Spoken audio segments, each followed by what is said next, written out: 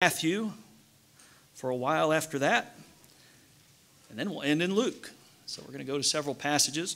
If you know where those are, I want to encourage you to turn through all of them. If not, you can sit back and listen and let God speak to your heart. I want to encourage you right now, just ask God to give you what you need from His Word. If we come to church and we'll listen and we'll ask God to speak to us, He will.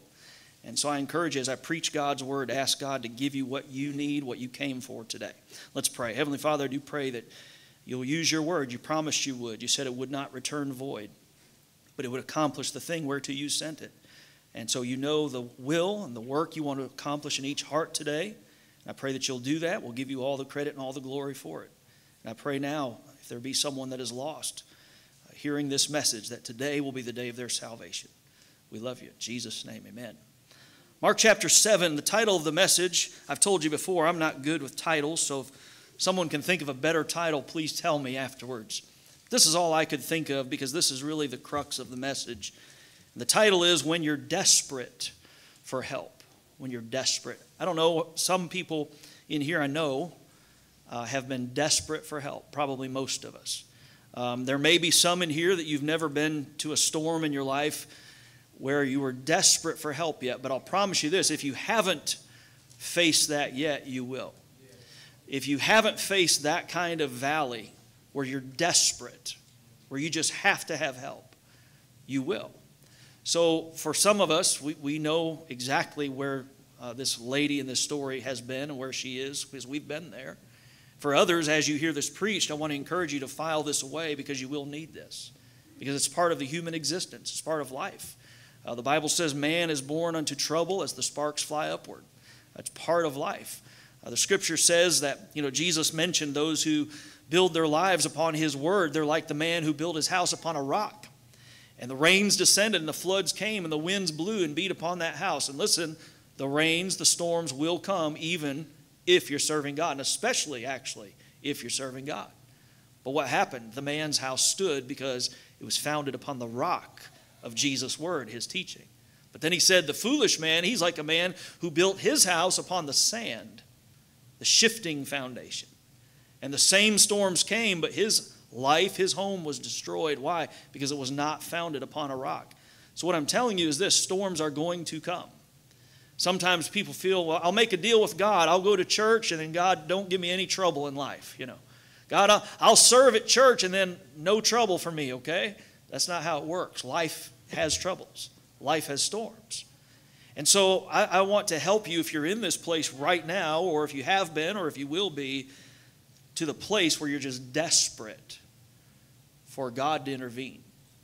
Mark chapter 7, verse 24, the Bible says of Jesus, it says, From thence he arose and went into the borders of Tyre and Sidon, and entered into an house, and would have no man know it but he could not be hid. So he went north out of Galilee to the area of Tyre and Sidon, and he was trying to get away with his disciples, but he couldn't be hid. Everybody knew where he was.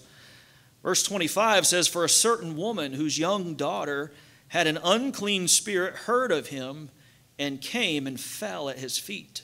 The woman was a Greek, a Syrophoenician by nation, and she besought him that he would cast forth the devil out of her daughter. Now let's go to Matthew chapter 15. We're going to read the same story in Matthew 15. So we call this a parallel passage. It just simply means that it's the same story written in another place.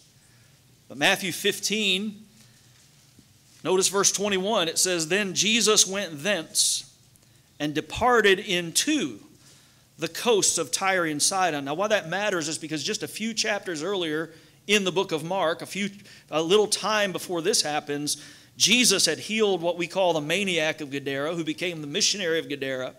And when that man's life was radically changed, all the people of the country, they lost some of their income.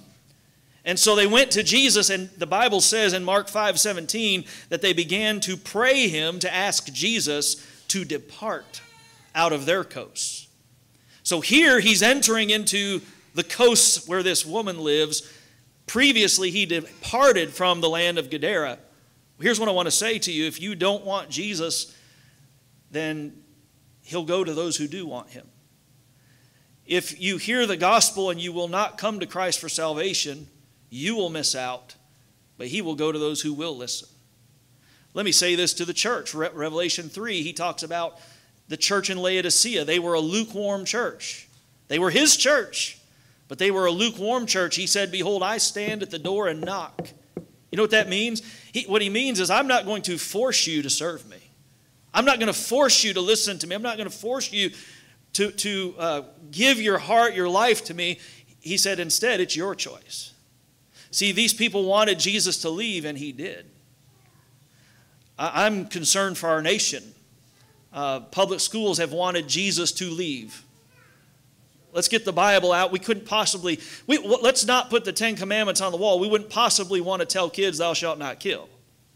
We wouldn't possibly want to tell kids, Thou shalt not steal. We wouldn't possibly want to tell kids to honor thy father and mother, which is the first commandment with promise. And listen, when a society rejects Jesus, they pay the consequences.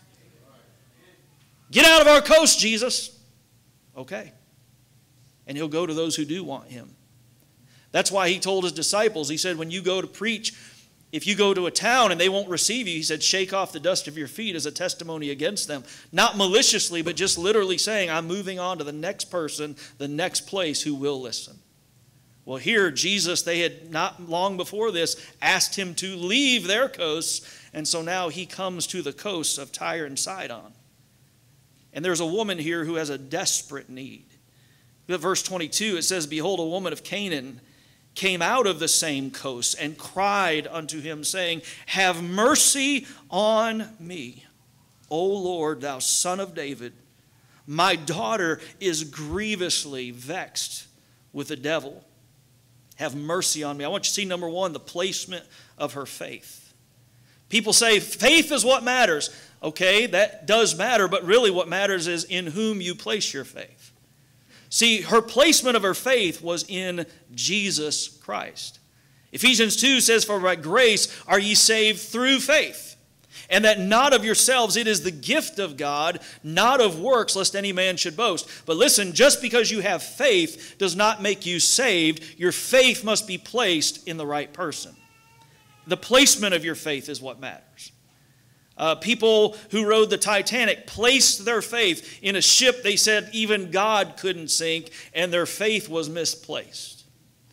Not long ago, many of us probably followed the events of the Titan submersible that went to see the ruins of the Titanic. They placed their faith in that vehicle, and their faith was misplaced. It led to their destruction.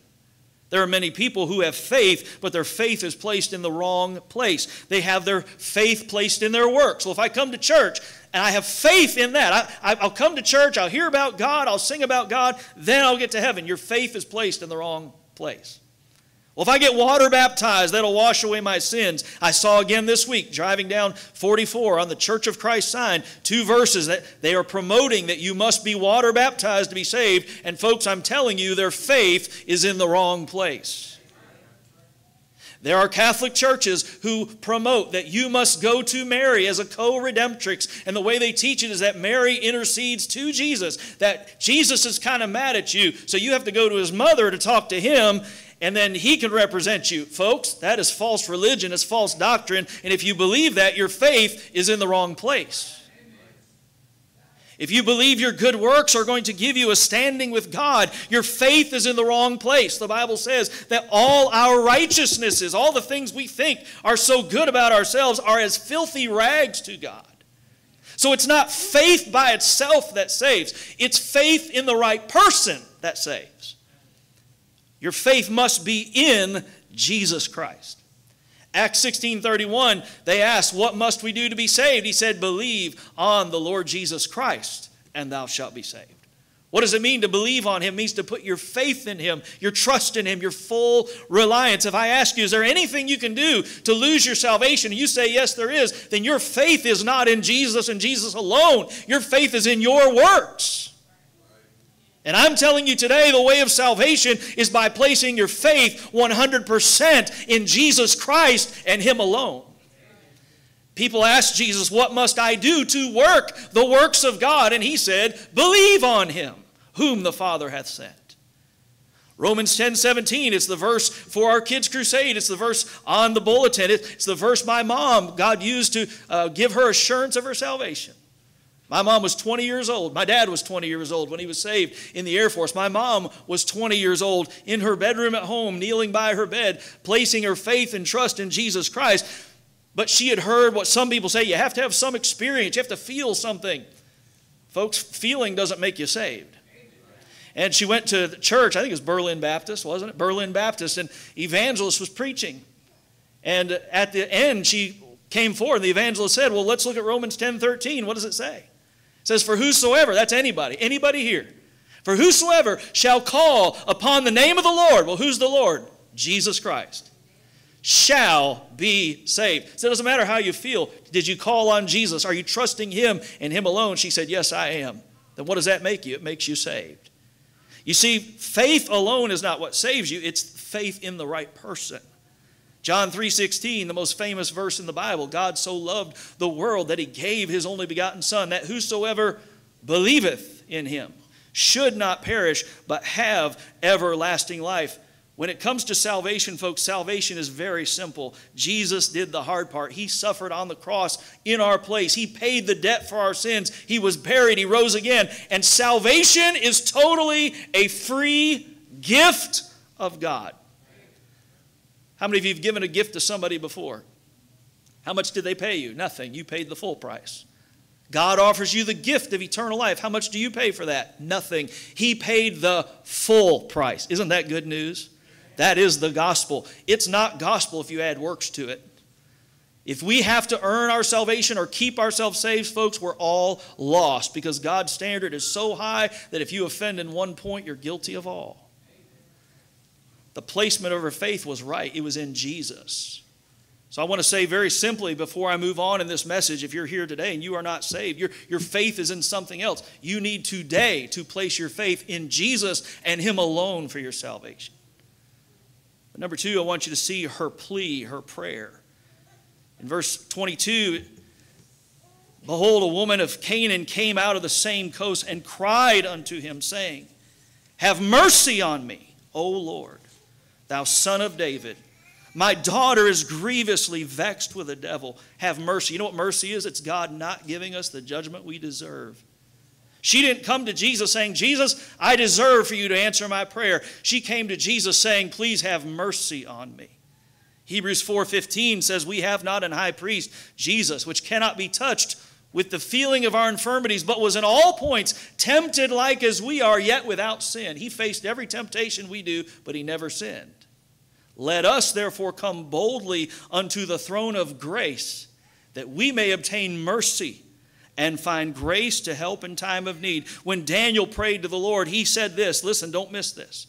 He said to the Lord, We do not present our supplications, our, our begging, our pleading, we do not present our supplications before thee for our righteousnesses.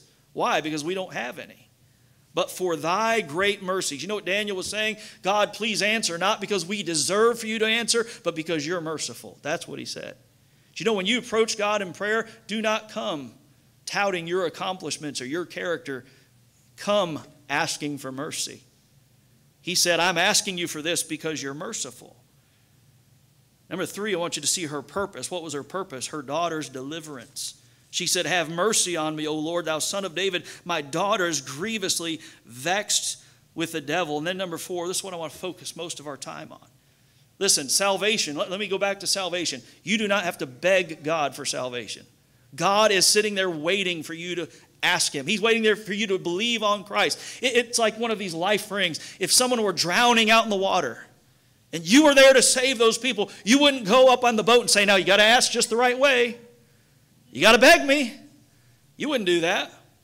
You, you're ready to help. You're ready to save. Did you know Jesus stands ready to save? He wants you to believe on Him. He's begging you. He's paid the price. And all you must do is believe on Christ. He wants you to be saved. So, when I'm talking about salvation, salvation is simple for us because Jesus did the hard part. But once you are saved, I'm talking about when you get to a place in your life when you're in a desperate need for help. And you've prayed. But I want you to see number four this lady's persistent, persevering, patient, prideless, prevailing faith. She had to have Jesus' help. She look, she had no answer. She had to have Jesus' help. Have you ever been there? Again, for some of you, you, you may hear this, and, and, and if you're not careful, you're going to let it go in one ear and out the other because you've not faced a deep, dark place in your life where you've just said, God, I've got to have your help or I'm going to die. But some of you have been there. And all of us will be there at some point in this life. I want you to see her persistent, persevering, patient, prideless, prevailing faith. When she first asked Jesus, Have mercy on me, O Lord, thou son of David, my daughter is grievously vexed with the devil. Verse 23, what did he do first? Don't miss this. He ignored her. He ignored her request. I thought if I go to God, He's going to answer my request. Listen, at first, what does He do? He ignores her. Verse 23 But He answered her not a word. Some people stop praying right there. So I, I did pray about this desperate need, Pastor, and God hasn't answered yet. So I'm done praying. What I'm telling you is you need to keep praying.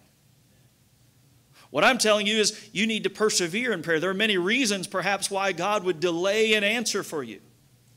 Maybe it's to transform your own heart. Maybe it's to build your own faith. There are many reasons God does that, but I just simply want you to notice He ignores her request. Lord, have mercy on me. He didn't answer her a word. God, please, I'm praying. Please, I'm desperate for your help. God, give me an answer. Silence. He answered her not a word. But notice next, that didn't deter her. She goes to his disciples and she begins to irritate them. She irritated the disciples. Jesus isn't going to listen. I'm going to go to the disciples. And she goes to them and she begins to beg them. And they get so frustrated, verse 23, the Bible says, And his disciples came and besought him, Jesus, saying, Send her away, for she crieth after us. Look, you're not answering her. We can't help her. Send her away. Do you see? She's not going to give up until she has an answer. She's not going to stop asking until there's something, there's some help given. She irritated the disciples. You know, sometimes some people stop praying here. You first pray and there's no answer. Then you pray and people say, Look, just why don't you quit praying? Look, it's been long enough, just stop. I mean, God obviously has answered. He doesn't, he doesn't want to answer your prayer. She irritates the disciples. Notice next, Jesus just flat out denies her request now. Verse 24, but he answered and said, I am not sent, but unto the lost sheep of the house of Israel. Now, at first, this may seem cold hearted. The fact is, the gospel went to the Jew first and also to the Greek. It's for the whole world. But right here, he just flat out denies you're, you're not of Israel. You have no standing with me. He denies her request. Did that deter her? This is where some people would stop praying. If you know something's God's will, but you, you keep praying and seems like the answer is no, what should you do? Keep praying. Notice verse 25, and don't miss this part. See, what all of this next part requires is humility. Do you know why sometimes people stop praying? Is because they're filled with pride. Well, I don't, I don't have to have, look, God, if you don't want to answer my prayer, fine then. This is where some people get bitter at God. This is where some people get angry with God. God, you know, you know what I'm going through. You know the storm. You know the valley. Lord, you, you have, you've ignored my prayer. You won't answer. But instead, what does she do? She humbles herself. Verse 25 Then came she and worshiped him. He's already ignored her once. She's begged his disciples, and they said, Get out of here. Jesus, send her away. She asked Jesus again. He says, No. You know, some people only worship as long as they get what they want out of God. Lord, I'll come to church as long as you do everything I want you to do. I've got a deal, me and you, God make my life happy and healthy and plenty of money and no troubles, and I'll keep coming to church. Lord, you do things how I want you to do them, and I'll be a soul winner. Lord, you do, you do things how I want you to, and I'll serve you. This is where a lot of people bail out. What I want to encourage you to do is continue like this woman did. She'd been told no, she'd been ignored, she'd been, they tried to run her off. She's still worshiping. You know what that word worship literally means? It literally means she is on her face before Jesus. In fact, if you look up, this is interesting. If you look up one definition of worship, it literally means she's like a dog licking her master's hand. How many of you have a dog at home? Anybody? How many of you know a dog is man's best friend? Because no matter how bad a day you're having, the dog will love you anyway, right? You can say all kinds of things to your dog, and the dog will wag its tail and lick your hand. that literally means she, she's been refused. They're trying to run her off, but she's still worshiping. You know, I think of John, the Revelator, who, who had been persecuted and exiled to Patmos. What was he doing on the Lord's day? Was he sitting there bitter at God, angry at God? No, he was in the Spirit on the Lord's day. She worshiped, and notice she pleaded with him again. Then came she. She's humble. She's falling before God. She's basically saying, God, if you don't help me, I won't be helped. Jesus, if you don't intervene, there's no hope for me. Verse 25 Then came she and worshiped him, saying, Lord, help me. Now, again, for some, this is where you'd stop praying. But verse 26, I want you to notice this. Not only has he ignored her, she's irritated the disciples. Jesus denies her. She's still worshiping and praying, but Jesus now tests her faith. Do you know God will do that sometimes? Many times he'll test your faith. He won't give you the answer you want right away, and sometimes he never will. Now, to some, this won't even seem like a test of faith, this will seem like an insult. He tests how bad she wants this answer. Verse 26 But he, when she worshiped him at his feet, saying, Lord, help me, what did he say? But he answered and said, It is not meet to take the children's bread and to cast it to dogs. Now, look, if you're full of pride and you're that woman, that's an insult. But if you're humble before God, you know what you do? You just keep pleading and keep pleading and keep pleading. Some people, when God tests their faith, they get in God's face. Instead of staying at his feet, humble, saying, God, please intervene in my life, they get in God's face. And they demand things from God. God, you do it this way. You do it in my timing, God. And if you don't, I'm out of here. Not her. She was humble. She's pleading. See, Jesus tested her faith. Again, if she were filled with pride, this would be an insult. He said, It's not me. I can't take the bread for the children of Israel and cast it to you. You're a Gentile dog. She didn't get up and leave angry and insulted. Instead, she humbly persisted in prayer. Listen to what James 4 6 says. It says, He giveth more grace. Wherefore he saith, God resisteth the proud, but giveth grace unto the humble. James 5 says, Confess your faults one to another and pray one for another that ye may be healed. The effectual, fervent prayer of a righteous man availeth much. 1 Thessalonians 5:17 says, Pray without, what's the next word? Ceasing, without stopping. If God tells you no, are you going to quit on Him? If God doesn't do things exactly how you demand He does them, are you going to walk out on Him? Pray without ceasing. Matthew 7 says, Ask and it shall be given you, seek and you shall find, knock and it shall be opened unto you. You know what that means? It means keep asking and keep asking and keep asking and keep asking and keep knocking and keep knocking and keep knocking and keep knocking. And keep seeking and keep seeking and keep seeking and keep seeking. But God's ignored me. Keep asking. But God's told me to go away. Keep asking. But I feel insulted because He hasn't answered how I think He should. Keep asking. Stay humble. See, through that humility, God's transforming your life. If in the middle of your trial, your testing, you get proud, God cannot continue to transform your life. We all know the story of Job, who had great riches, great blessings. God had put a hedge about him, and Satan came and said, Actually, God said to Satan first, Hast thou considered my servant Job? Hey, Satan, I know you love destroying people. How about my servant Job? He loves you. He, he, he loves me. He is faithful. What did Satan say? He said, Yeah, because you've put a hedge about everything he has. Touch what he has. he'll curse you to your face. God allowed Satan to take everything Job had, including his children. And he still wouldn't curse God. And then Satan came back for God, and God said, See, Satan, hast thou considered my servant Job? He said, Yea, all that a man hath will he give for his life. Let me touch his flesh. He'll curse you to your face. And so the Bible says Job was smitten with sore boils from the top of his head to the bottom of his feet, just horrible, painful sores. And don't be too hard on Job's wife because she's suffering through all of this with him. But she comes to Job and says, Dost thou still retain thine integrity? Curse God and die. And what did Job say? Thou speakest as one of the foolish women speaketh. What shall we receive good at the hand of God? And shall we not receive evil? In all this did not Job sin with his lips. What about when God tells you no? God, I want you to do this. Do this. Please answer my prayer. And God just flat out says no.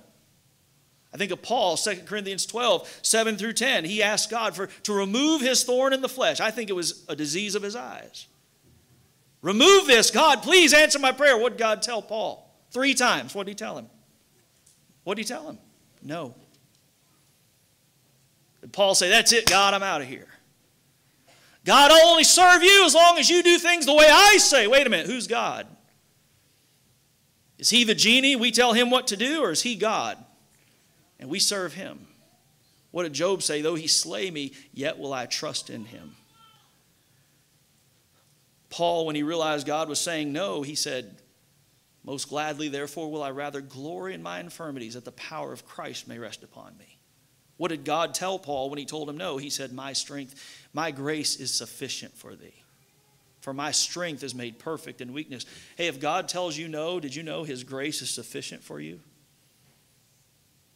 You know what we need? We need a revival of Christians who aren't going to just serve God when the bills are paid, when the health is good, when everything's easy. We need a revival of Christians who will say, Though he slay me, yet will I trust in him. We need a revival of Christians who will say, When it gets tough, my Savior had it tougher. He went all the way to the cross for me. And if he could go all the way to the cross and suffer in my place, I can take a little persecution. I can take a little trouble in the name of Jesus Christ. We need a revival of that. We've got too much soft soap, easygoing Christianity. I'm going to make a deal with God. God, you make my life easy, I'll show up to church. God, you make my life easy. I might tell somebody about you. I might. I might read my Bible. I might pray. I might give of myself for your cause. No, Jesus said you need to forsake all and follow him. As a matter of fact, he said if you don't forsake all, you can't be his disciple. Do you know he forsook all and went to the cross for us? I remember when we were looking to get this building and the Lord blessed and allowed us to get it. I was around, it was my father in law, Brother Addy, who's in heaven. I said, Boy, God is good. God is good to answer our prayer and to give us this building. You know what he said? He, we call this a spiritual smackdown. All right? You know what a spiritual smackdown is? It's when somebody gives you something really spiritual from the Bible that smacks you. That's a spiritual smackdown. I said, God's so good to give us the answer to this building. He said, God's good even if we didn't get the building. Say, you know what? You're right. God, answer my prayer. God says, okay. Wow, God's good. He's always been good. God, answer my prayer. God says, no. God, you're still good. We need a revival of that. By the way, child of God, let's, let's realize this. Whatever you face here, again, remember what is it? It's temporary. It's temporary. This world's so, so fleeting. Every, the time is so short. We have an eternity with Christ. Our sins are forgiven. We're going to a place where there's no more sorrow, no more pain. Hey, we've got a mansion over the hilltop. We're joint heirs with Jesus Christ. Our sins are forgiven. We're going to spend eternity with our loved ones who are saved. Do we really have it that bad? No, part of the problem is we love this world too much.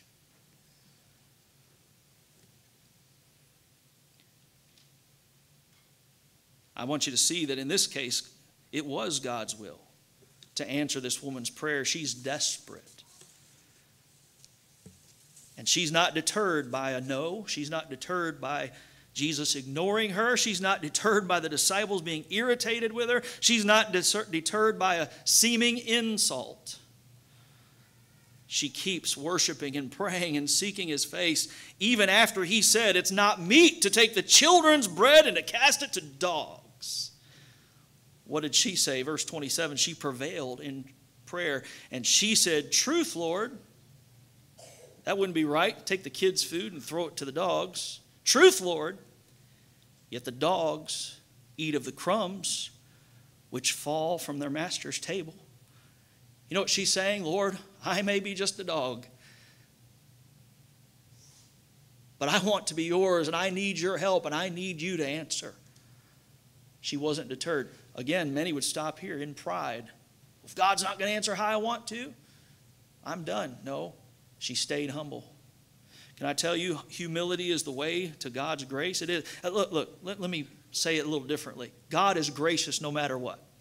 But that being said, God does show special favor to those who humble themselves before Him. All through the Bible, you'll find it doesn't matter who it is, those who humbled themselves before God, God always responds favorably. And those who walk in pride, God always abases she prevailed in faith. I, I like Psalm 40. It says, I waited patiently for the Lord. That's hard to do, isn't it? Lord, answer! We're, we're used to microwave. Boop, boop, boop. Er, it's done. God, here's my prayer. I want it done right now. Name it and claim it. Drive through God. God, here's my order, now give it to me. People get mad if their order is more than three or four minutes at drive through. We expect that from God. God's on his own timetable.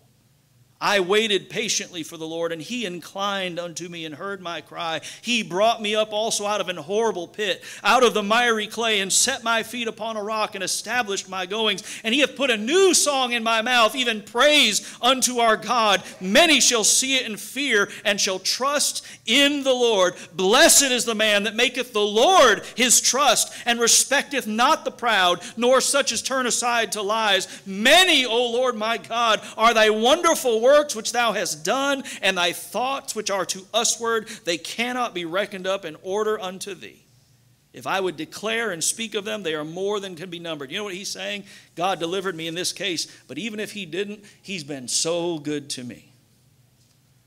Folks, if you're saved, God's been so good to you. If you're not saved, he's still been good to you, and the goodness of God leadeth you to repentance.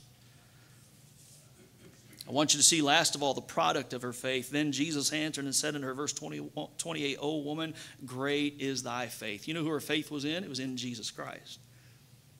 O woman, great is thy faith. Be it unto thee even as thou wilt. And her daughter was made whole from that very hour. It was Jesus' will to heal her daughter. I want to finish one, one more story. Go to Luke 18. I'm going to read this in a couple of minutes and be done. This woman did not give up. When she was ignored, she didn't quit praying. When she was irritating the disciples, she didn't quit praying. When she was flat out denied, she didn't quit praying. Why? She believed this was God's will and she kept praying. She worshiped and pleaded with him again. And even when Jesus tested her faith, she kept praying, worshiping.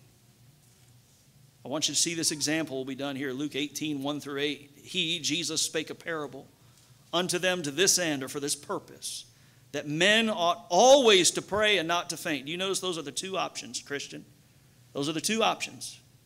You're in a place of despair, you're in a valley, you're in a storm, you have two options. Number one is to pray, to keep bringing it before God, casting all your care upon Him, for He careth for you being careful for nothing, but in everything by prayer and supplication with thanksgiving, letting your request be made known unto God.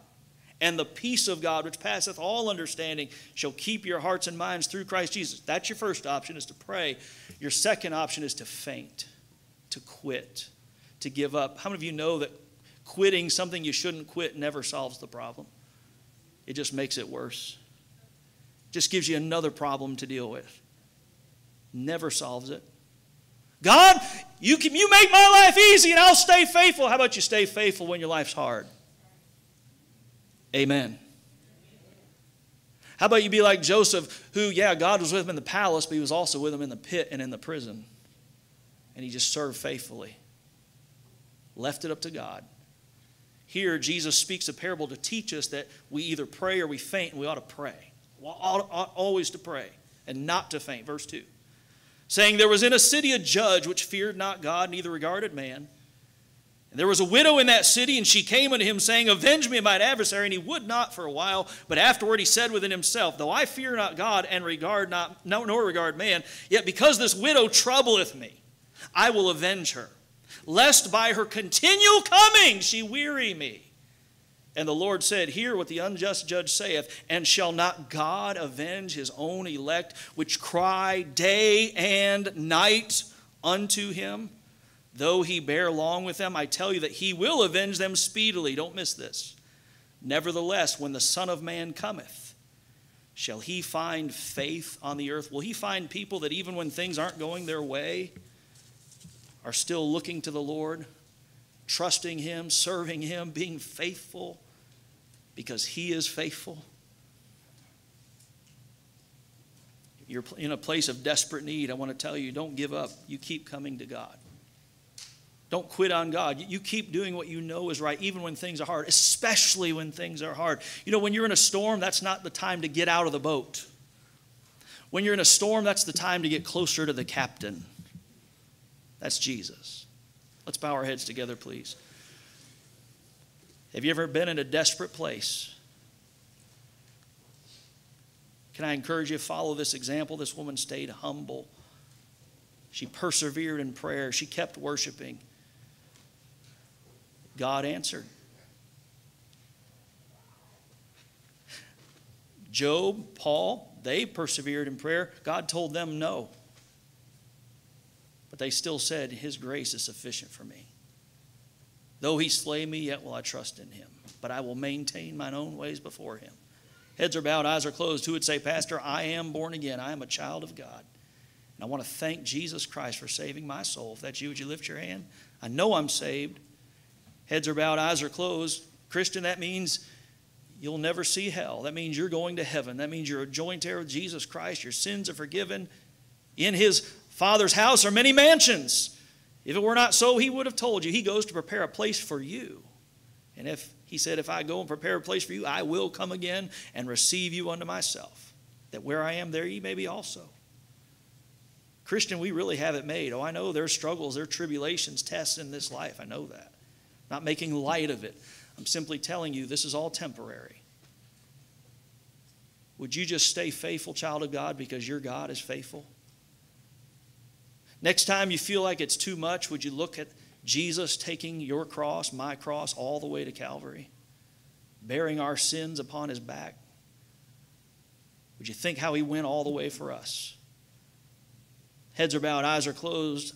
Who would say, Pastor, the truth is, I'm not sure I'm saved. If I were to die today, I don't know I'd go to heaven. Please pray for me. If that's you, lift your hand right now until I see it. That's me, Pastor. I don't know I'm saved. I don't know that I'm saved. If I were to die today, I'm not 100% sure I'd go to heaven. Lift your hand until I see it.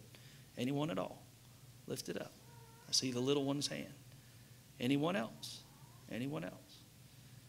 Our heads are bowed, our eyes are closed. Christian, we need a revival. We do. Of Christians who, when they'll go through a difficult time, will stay faithful to the Lord. Well, I rejoice, see Christians in our own church persevering for the Lord through difficulty, through trouble, through tribulation. Can I encourage you when you're in that desperate place? Keep your faith in Jesus. When you're in that desperate place, when you're in the storm, don't jump out of the boat. Get closer to the captain. Keep bringing your needs to Christ in prayer. Keep bringing your needs to the Lord. Seems like He's not answering. Keep bringing it to the Lord. You believe something God's will. You can look in God's word, and know something's God's will. Don't give up praying. Two choices pray or quit. Don't quit. Don't quit what you shouldn't quit. Keep praying, bringing it to the Lord. Heavenly Father, bless your word to our hearts. I don't know how you've spoken to each heart, but you do. And so I pray that we'll yield to you whatever you've shown to us. Thank you that we can cast all our care upon you, for you care for us. Help us to remember the things we've heard today. In Jesus' name. Let's stand to our feet.